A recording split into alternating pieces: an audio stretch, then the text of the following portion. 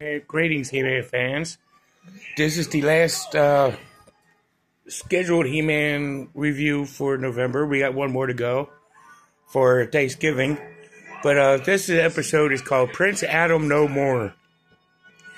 This is season one, episode uh, thirty-one.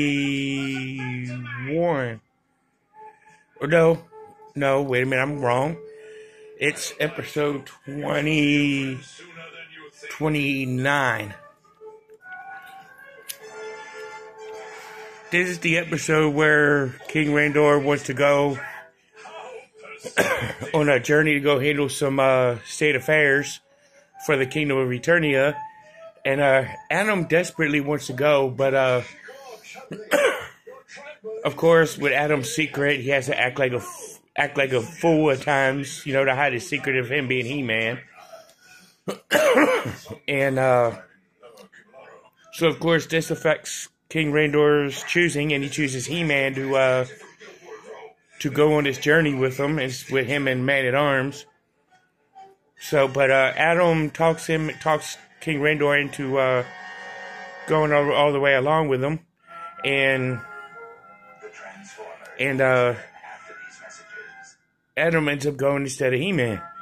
And uh, along the way, you know, in the meantime, uh, Skeletor kicks Beastman out of Snake Mountain, kicks him off the council, and takes a seat from the evil council table. And, you know, and Beastman sees Adam, the king, and uh, King Randor, and uh, Man at Arms going on this journey to where Beastman decides to capture him and uh, take him back to Snake Mountain to get back into get back into Skeletor's good graces.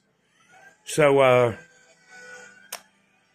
you know, he had, uh, of course, the king gets captured by uh, by um, Beastman. Adam and Duncan gets put into this uh, gets hit with this temporary temporary freeze ray.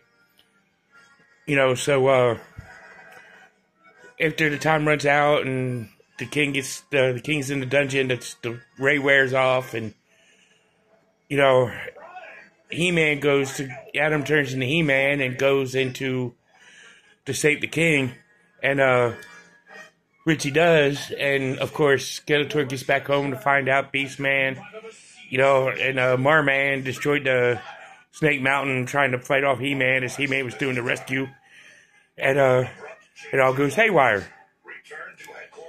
You know, but Beastman's brought back into Snake Mountain, brought back at the council, and la la la. And, uh, you know, pretty much to the end of it. But, uh, all Beastman has to do is clean up the, him and Merman has to do is clean up the mess. You know, but, uh,